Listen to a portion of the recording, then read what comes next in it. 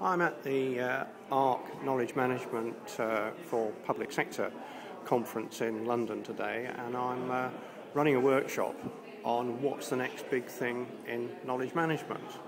And uh, what I've just explained to everybody is that really I'm not an expert in knowledge management, so as a social reporter, what I've done is to uh, do the usual thing and get other people's ideas.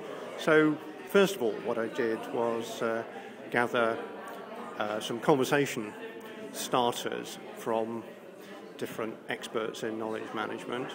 Um, then I came to the conference with those and listened out to what people were saying in the presentations, tweeted that, got some feedback, and now I've uh, asked everybody in the conference to take a little situation, a scenario, and that is um, supposing a friend of yours uh, suddenly says to you, Well, I've just been given knowledge management responsibility in my local government department, and I'm okay on information management, and um, I'm okay on kind of reporting project progress and so forth, but my new boss is really enthusiastic about social media.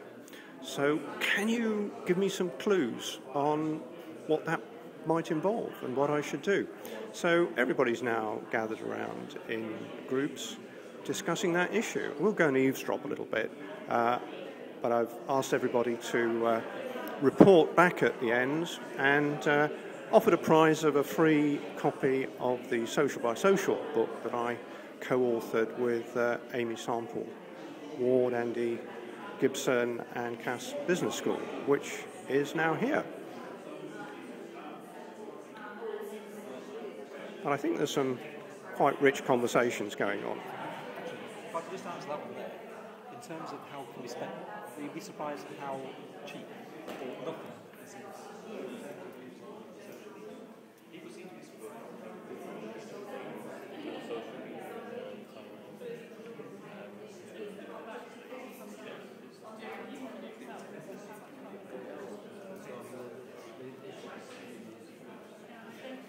there seems to be plenty of uh, seems to be plenty of chat here. People are very happy discussing that uh, scenario.